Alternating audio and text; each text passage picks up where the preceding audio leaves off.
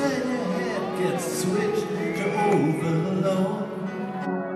Nobody's gonna go to school today. She's gonna make them stay at home.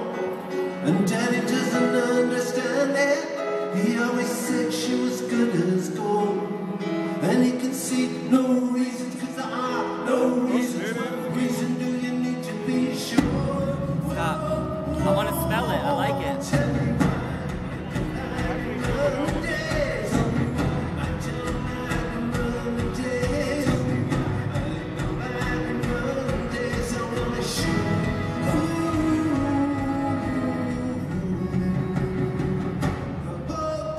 do